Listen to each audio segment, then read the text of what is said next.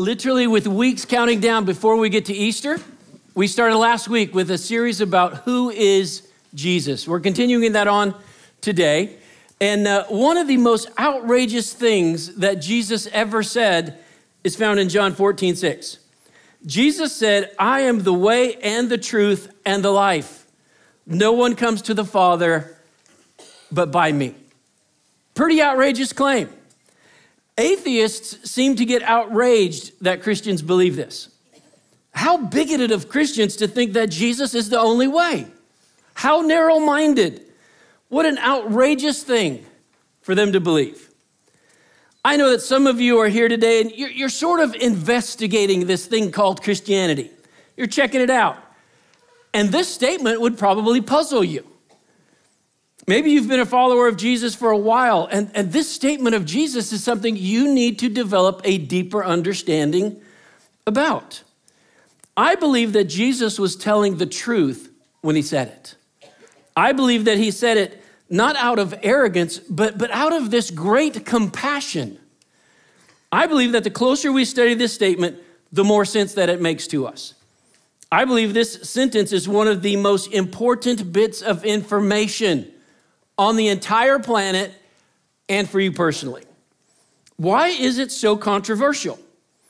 I think it's controversial because this statement strikes at the heart of three great myths of Christianity.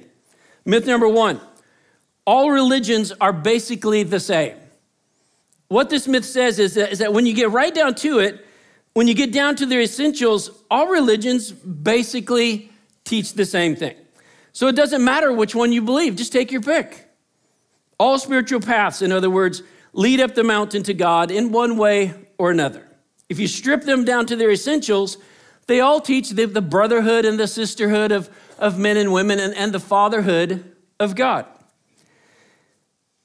With this one outlandish statement, Jesus Christ boldly takes Christianity and he sets it in a completely separate category. He does that with this statement I am the way and the truth and the life. No one comes to the Father except through me.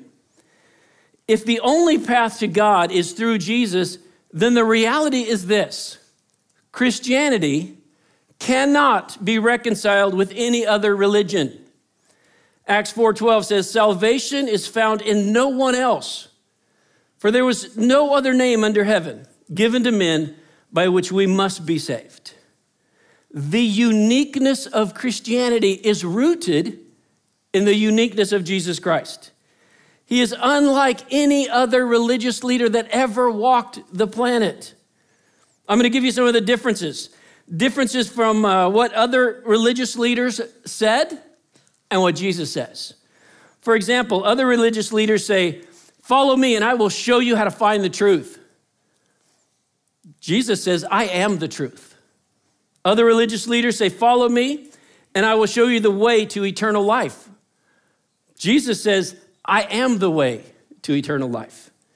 Other religious leaders say, Follow me, and I will show you how you can be enlightened. Jesus says, I am the light of the world. Other religious leaders say, Follow me, and I will show you many doors that lead to God. Jesus says, I am the door. Other religious leaders say, Follow me, and I will show you how you can find spiritual nourishment. Jesus says, I am the bread of life. That's a radical difference. Some people, some people try to harmonize the different religions of the world. They try to try to put them all into the mixer and, and blend them up and think, you know, that's okay. But there are drastic and irreconcilable differences between Christianity and all other religions.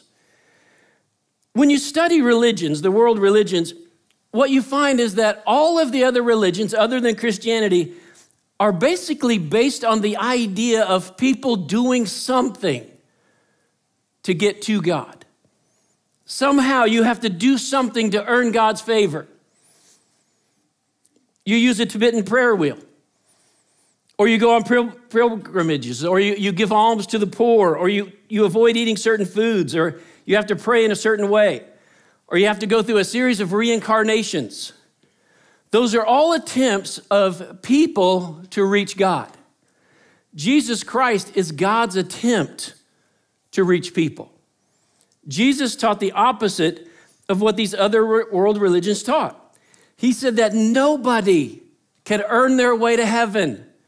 Nobody could do enough. Nobody could do that, so you just might as well stop trying. He said two things that are very consistent with our human experience. I think these are true to your human experience. First, we're all guilty of wrongdoing.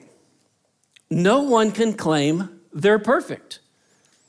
This resonates with all of us, with our experience. We all would say, Yeah, that, that's true. I'm not perfect. I've never met a perfect person. They don't exist. Second, our wrongdoing separates us from God. We know from our experience that that is true too. Has there ever been a time in your life where you felt that God was, was distant? That God was somehow detached from you? I would say, of course, we've, we've all felt that way. Why? Because our wrongdoing has created a separation between us and God. It separates us from Him. Because God, by His nature, is a righteous judge. Therefore, our wrongdoing must be paid for, it must be set right. But out of His love, but out of his love for us, Jesus Christ voluntarily offered himself as a sacrifice, as a substitute, to pay the penalty for the sin that, that we deserve so that we wouldn't have to pay that price. Through Jesus, we can all be reconciled with God forever. It's a forever deal. That's Christianity. There's a huge difference between uh, works and grace. All other, all other religions are spelled D O, do. They all teach that people have to do something to connect with God, they have to do something to please God. The problem is, nobody ever knows how much they have to do to please God. It's like, it's like you're a salesperson and your boss comes to you and says, I'm gonna fire you unless you meet your quota. But I'm not going to tell you what your quota is. And so you go out and you sell and you sell and you sell, but you never know when you have sold enough. You never know when you have met the quota. You never know how much you have to do to please God. Christianity says you can never do enough to earn your way into heaven. Christianity is spelled D O N E. It's done. Jesus Christ has done what we could never do. He lived a perfect, sinless life. He went to the cross to pay for the sins of the world. And just before he died on the cross, he said, It is finished. It's done. I have paid for the sins of the world. All that is left is for you to, to receive his free gift of forgiveness, of grace, of mercy. We can all really see the distinction between the do and the done when we look at some of the stories told by the various religions. For example, there's a story in Buddhist literature that's very similar to the story that Jesus tells about the prodigal son. They both start out the same way, they start out similarly. In both stories, young men rebel. They take their inheritance and they go off to a foreign land, and after a while, they've lost it all. And they come to this place where they say, I want to go back home. I want to be reconciled with my father. And so they go back home. Here's where the difference steps in. In the Buddhist story, the prodigal son comes home and his father forces him to pay the penalty of his past mistakes with years of servitude. In the Christian story, the prodigal son comes home, and instead of forcing him to, to work off his past mistakes, he greets him, he embraces him, and he gives him unconditional love, forgiveness, and grace. That's a huge difference. It's completely different. The Bible says in Titus 3:5, He saved us, not because of righteous, not because of righteous things we had done, but because of his mercy.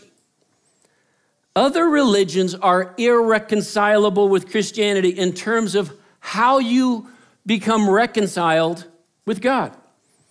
There are other major differences as well. For example, Christianity says there is one God eternally existing in three persons the Father, the Son, and the Holy Spirit. Hinduism says everything is God. You're God, I'm God, the podium's God, your chair's God. Everything is God. Islam denies that Jesus was God. Islam denies that Jesus died on the cross for your sins. Buddha, he was non committal about the idea of God. He was kind of an agnostic. He wasn't sure if God existed or not. You could see those, uh, those beliefs are at odds with each other. They can't all be true at the same time, they don't mesh. All religions are not basically the same. It matters which path you choose for your spiritual journey. Jesus dispels this myth, the myth that all paths lead to God. They don't. Only Jesus does. Myth number two all religions have equal claims on the truth. Some would say, e- even if there is some differences, they, they all have equal claims on the truth. You have your truth, I have my truth. You know, this has a certain appeal. It has a certain appeal for us in the United States because we live in a tolerant, pluralistic society, and our Constitution protects the right of every human being to believe whatever they want to believe to follow whatever belief system they want to believe. You really can believe anything in this country. Some people make the assumption that because our, the laws of our country protect, protect every belief, that therefore every belief must be equally true. It's not truth. The Supreme Court has talked about the fact that what we have in, in our country is a marketplace of ideas. In other words, Truth and falsehood fight it out. And free speech says we can say whatever we want to say. That's our country. That's what we do. That's who we are. Just because all religions are equally protected does not mean that all religions are equally true. We can see the differences. The reality is that only Jesus Christ backed up his claims with unique credentials that gave him unique credibility. I want to give you four of these credentials. First, fulfilling prophecies.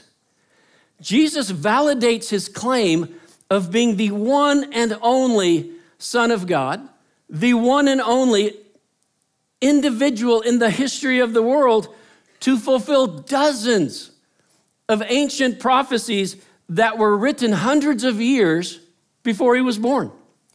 When you look at these prophecies, there's no way he could have intentionally fulfilled many of them because so many of them were prophesied beforehand. For example, he could not have arranged the place of his birth. He wasn't even born yet. He could not have arranged his ancestry. One ancient prophecy uh, predicted the exact moment in history when the Messiah would be born, which he fulfilled. He couldn't have arranged how he was put to death. It was predicted hundreds of years before crucifixion was adopted as a method of execution for the Romans. And yet, that's exactly what happened. He fulfilled these prophecies. He fulfilled these prophecies against enormous mathematical odds. People have done computer studies and looked at the odds of someone being able to fulfill these prophecies. And they show not just that it would be difficult, not just that it would be unlikely, but that it would be mathematically impossible for any human being to fulfill them. Jesus Christ did. That's one way that his claim to be the Son of God is valid. But there's more. unprecedented character.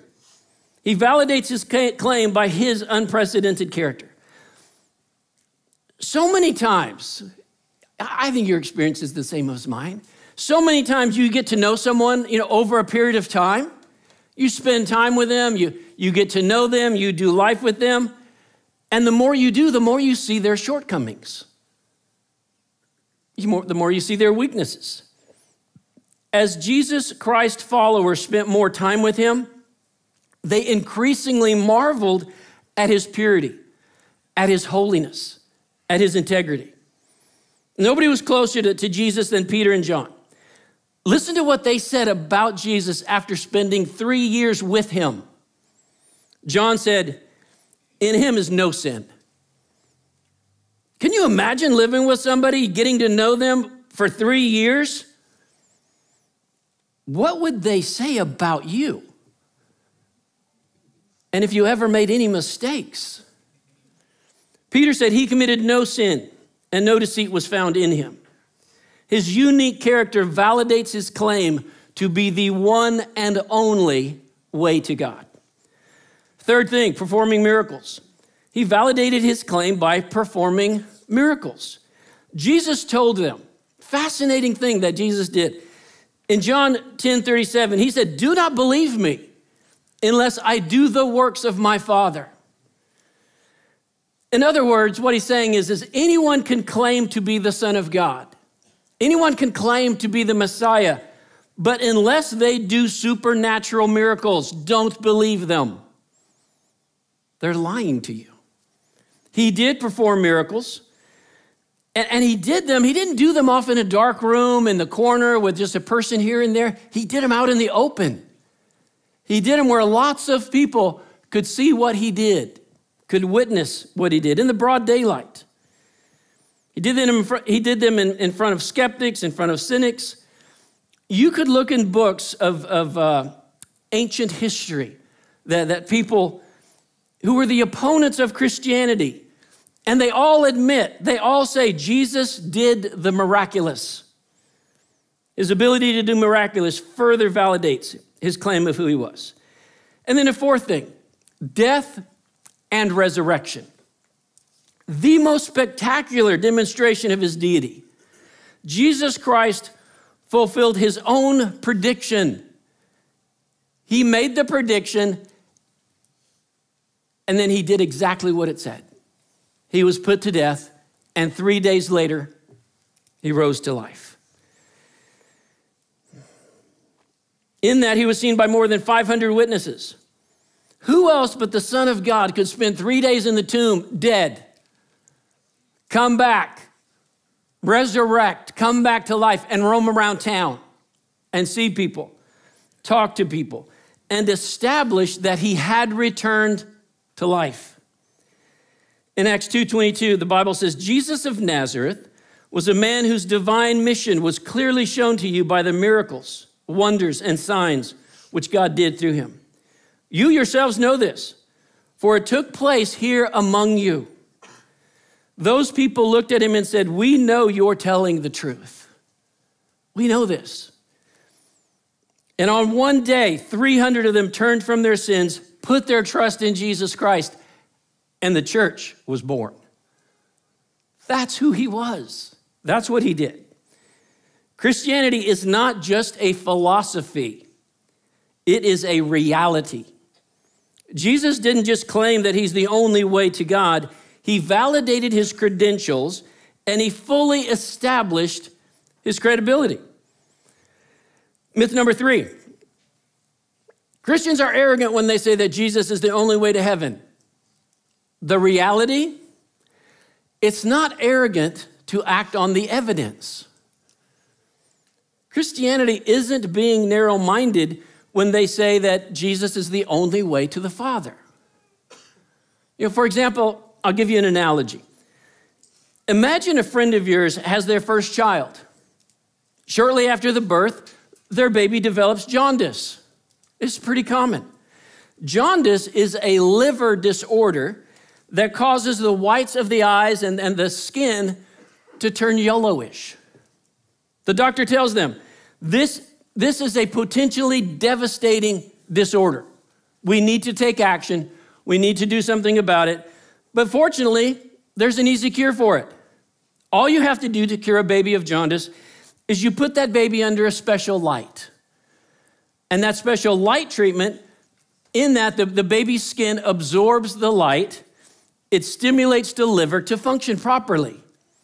And once it's functioning properly, the, the disorder goes away.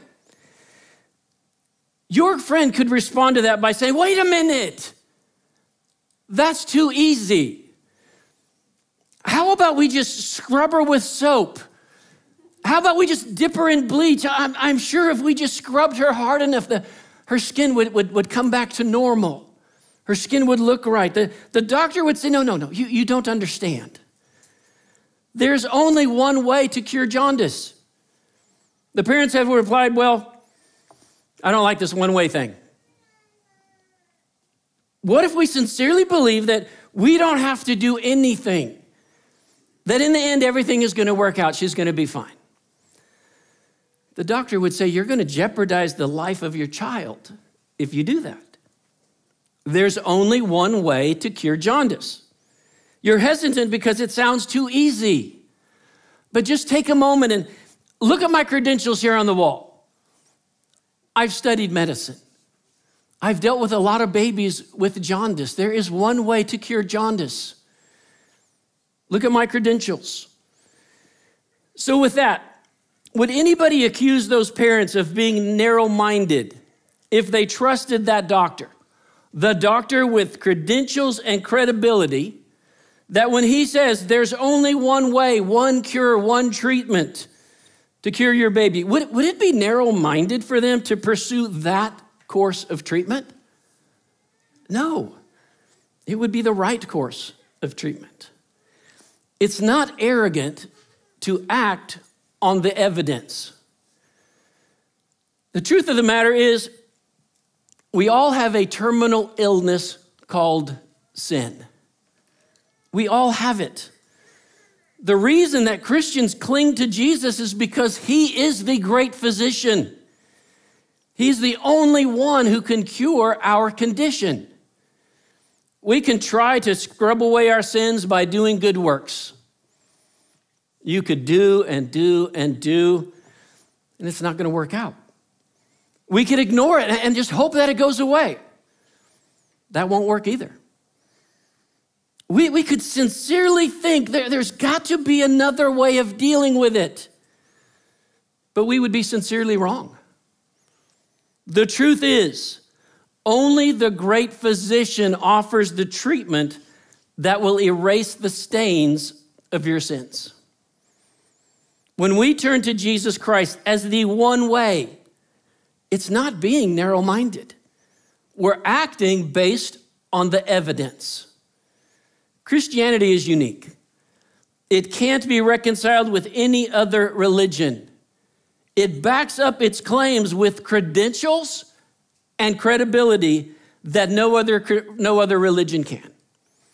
That's why when Jesus said, I am the way and the truth and the life, he was speaking from a heart of love with a desire that all people would accept his offer offer of truth and life. Do you believe his claim? His claim is specific I am the way and the truth and the life. No one comes to the Father except through me. That is a pretty outrageous claim. It's about as outrageous as someone could get. But he backed it up with credentials and with credibility. Have you accepted his offer? If you haven't, you could do that today. You could do that before you leave this campus today. If you have, you should embrace this truth and strengthen your view of the truth with his credibility, with his credentials. And you should live out this truth every day of your life. because Jesus is the only way. He is the way, the truth, and the life. If you want to come to the Father, you come through Jesus Christ, accepting who He is and what He has done for you. Let's pray. Father, I'm grateful for how you love us, for how you have reached out to us, for how you have shown us love and grace and mercy. I am grateful that, that your son Jesus did not just claim to be your son, but he proved it. He proved it through fulfilling prophecy after prophecy after prophecy that were mathematically impossible to be done. Yet he did, validating his credibility and his credentials. I pray that we would fully put our trust in Jesus Christ, to trust in him, to cling to him, to rely on him, to embrace him fully. I pray that we would not get confused by other statements or other, other religious views, but that we would cling to the truth that is provable, that is unchangeable that Jesus Christ is your son, that he claimed to be the way, the truth, and the life, and that no one could come to you except through him. I pray that we would do that. I pray that we would come to you through your son, Jesus Christ. I pray we would not let that slip away from us. I pray that we would put our life into your hands and trust you with all things of life now and for eternity. I pray that in the name of your son, Jesus. Amen.